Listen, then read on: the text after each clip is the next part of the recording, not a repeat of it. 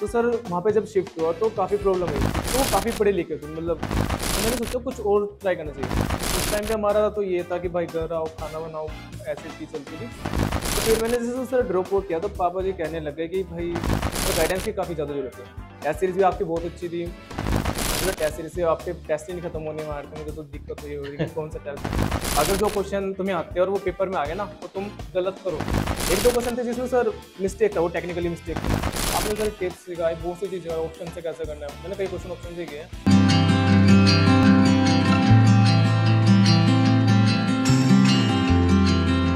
चलिए रिमसेट के एक नए टॉपर से मिलते हैं अंशुल कुमार से, जिनका ऑल इंडिया रैंक 383 है, जो कि पानीपत, हरियाणा से है। तो अंशुल, सबसे पहले तो 383 रैंक के लिए आपको ढेर सारी शुभकामनाएँ। और अंशुल ने ये रैंक जो है, वो ड्रॉप ईयर के साथ अचीव की है। तो अंशुल, पहले तो आपकी इंटायर जर्नी जो है, कब सोचा निमसेट के लिए और किस ढंग से प्रिपरेशन की? क्या पहले थॉट थे और अब किस ढंग से रैंक अचीव करने में थॉट में क्या चेंज आया?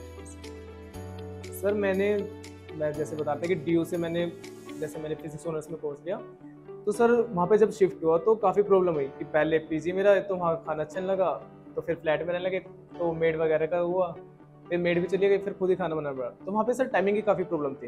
यहाँ पे मैं देखता था कि बच्चे दो घंटे क्लास में होते थे, हमारी क्लासेस दो घंटे की होती थी ड्यू में। वहाँ पे सुबह आठ बजे जाओ और शाम को पाँच बजे जाओ। दिक्कत ये थी कि क्लासेस की वो थ्योरी क्लासेस की दिक्कत नहीं प्रैक्टिकलों की थी। ना तो हम बीच में आ सकते, ना जा सकते। पूरा दिन वहीं पे स्पेंड करना पड़ता था।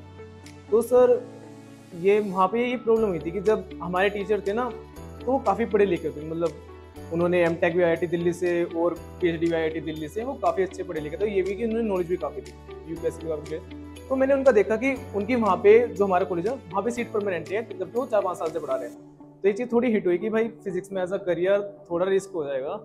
तो मैंने सोचा कुछ और ट्राई करना चाहिए। इंजीनियरिंग का मुझे इतना नहीं पता था बट फिर मेरा जो रूममेट था वो बेसिक कंप्यूटर साइंस से था। ओके आर्या उसने आपकी टेस्ट सीरीज़ ज्वाइन की थी और उसकी टू टू रैंक आई थी शायद उसने बताया भी ना होगा। एन आई टी इलाहाबाद में आओ। तो उसने काफ़ी मतलब कंसिस्टेंसी डिसिप्लिन से काफ़ी वो की थी। उस टाइम पे हमारा तो ये था कि भाई घर आओ खाना बनाओ ऐसी चीज़ चलती थी।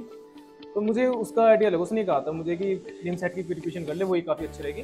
बाकी अपना फिजिक्स तो साइड में करता रहिए तो मैंने यही किया।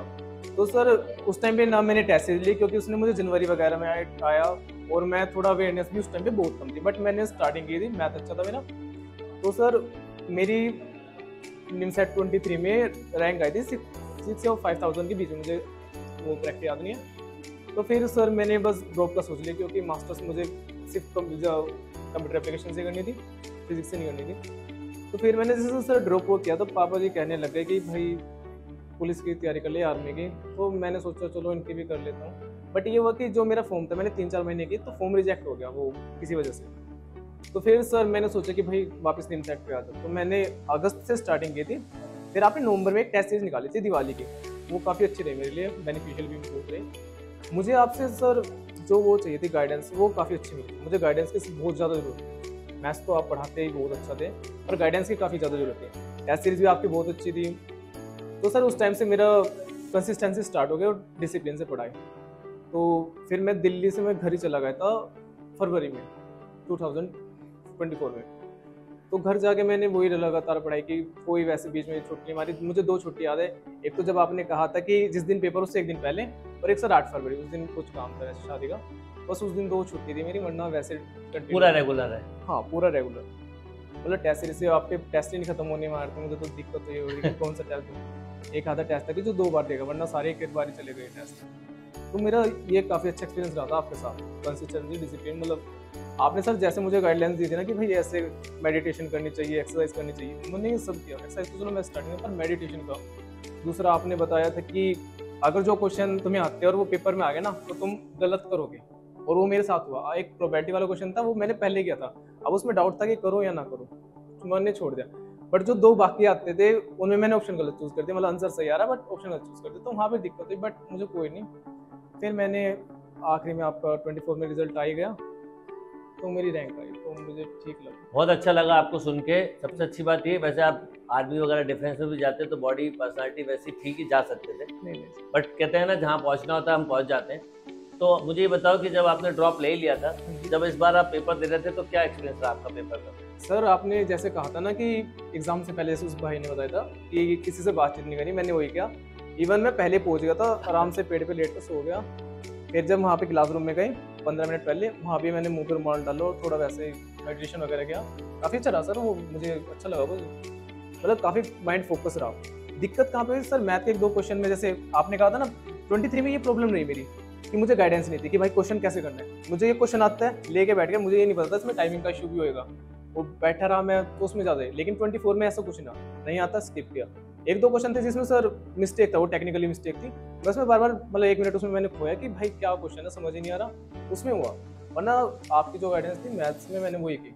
आपने सर टिप्स सिखाए बहुत सी चीज़ सिखाई ऑप्शन से कैसे करना है। मैंने कई क्वेश्चन ऑप्शन से किए हैं। वो मेरा अच्छा एक्सपीरियंस रहा था। और आज आपने दिन भर अवार्ड सेरेमनी में रहे। सर उसका क्या एक्सपीरियंस था और बहुत सारे बच्चों को भी सुना होगा तो क्या चीज़ें आपको लगी जिससे आपके अंदर अब चेंज आने वाला है? ये सर ये बहुत अच्छा लगा कि दूसरों की जर्नी कैसे थी।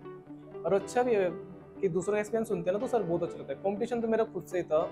ये नहीं, क्योंकि मुझे पता ही नहीं था कौन कहाँ से, इससे नहीं था। मुझे एन जाना था डेट्स ऑल तो मैंने यही किया। बाकी आपके, आपको मिलना था। सबसे बड़ी तो मेरी प्रियोरिटी यही थी। सरमनी वगैरह मुझे नहीं आइडिया था बट आपसे मिलता इवन घर वालों को मैंने अपनी रैंक के बारे में भी एक तारीख को बताया कि मेरी रैंक आई, क्योंकि मुझे भोपाल आना था तो पैसे चाहिए थे। मैं उस टाइम पे दिल्ली में था।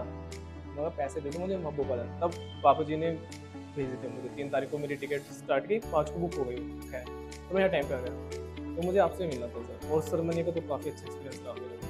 मतलब बच्चों को देख चलो बहुत अच्छी बात है। अब ऐसे ही आप आगे भी एनआईटी में परफॉर्म करो और लाइफ में भी ऐसे ही परफॉर्म करो। Once against all the best and congratulation sir मैंने देखा है कि भाई जिस चीज़ के लिए मैंने अपना डेडिकेशन कर दिया वो मुझे मिले चाहे ट्वेल्थ हो कॉलेज हो चाहे ये आगे भी मिलेगा। यस सर बिल्कुल। All the best thank you sir thank you